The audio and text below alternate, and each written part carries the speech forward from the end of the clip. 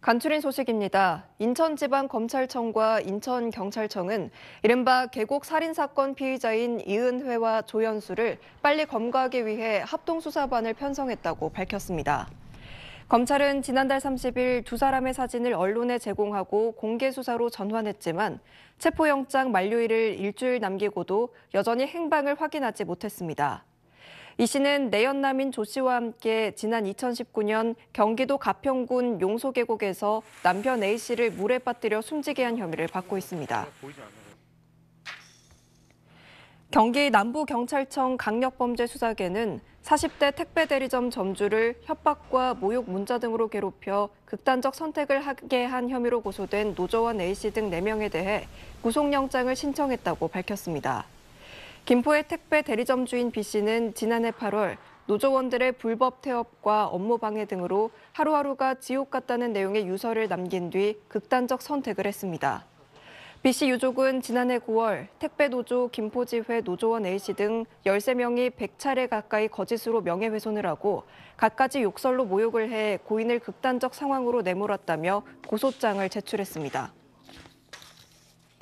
마크 밀리 미국 합창의장은 북한의 탄도미사일 능력이 미 본토에까지 실질적인 위협이 되고 있다고 밝혔습니다. 밀리 의장은 하원 군사위원회에 제출한 서면 자료에서 북한의 지속적인 무기 시험과 개발은 미 본토는 물론 인도 태평양의 동맹과 파트너들에게 실질적인 위협이 되고 있다고 말했습니다. 폴 나카손의 미군 사이버 사령관도 북한의 해킹과 암호화폐 절도 등 사이버 능력이 향상되고 있다면서 국무부와 재무부 등 부처 간 협력을 통해 대응하고 있다고 밝혔습니다.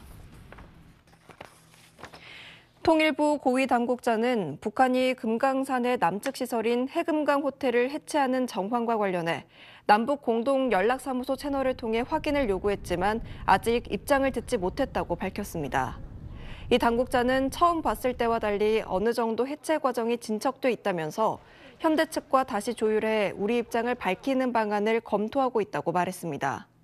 앞서 미국 언론은 최근 민간 위성 사진 분석을 통해 해금강 호텔의 건물 가운데가 움푹 들어가고 호텔 앞 부두에 자재로 보이는 물건들이 쌓여 있는 등 철거 작업이 상당히 진척된 것으로 보인다고 보도했습니다. 지금까지 간추린 소식이었습니다.